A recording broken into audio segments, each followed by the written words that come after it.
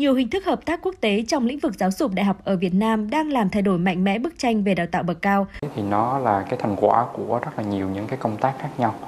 à, từ khoảng 15 năm trở lại đây. À, với một cái chiến lược trong cái 5 năm đầu của 15 năm đó là đứng trên vai người khổng lồ. Trong đó, Đại học Duy Tân đặc biệt hợp tác cùng các đại học của Mỹ như Đại học Carnegie Mellon, Đại học bang Pennsylvania, Đại học bang California ở Fullerton, Đại học Purdue để chuyển giao chương trình đào tạo hay hợp tác cùng Đại học Troy và Đại học Kuka để đào tạo du học tại chỗ. Thực ra cái năng lực nghiên cứu của Duy Tăng bây giờ được đánh giá tốt là lúc đó Duy Tăng đã đặt ra cái trọng tâm trong việc phát triển nghiên cứu quốc tế để thu hút giảng viên người Việt mà tốt nghiệp từ nước ngoài về cũng giống như là một số nhà nghiên cứu người nước ngoài ở các nước lân cận. Đại học Duy Tân đã ký kết với nhiều tập đoàn lớn như Samsung, Dentium, Microsoft, LG, Viettravel, Saigon Tourist, Intercontinental, các tổ chức y tế tại Nhật Bản hay Đại học Bách khoa Hồng Kông, Trung Quốc, Đại học Kyung Hee, Đại học Đông A để triển khai các hoạt động ngoài nước. Ở trường thì tụi em được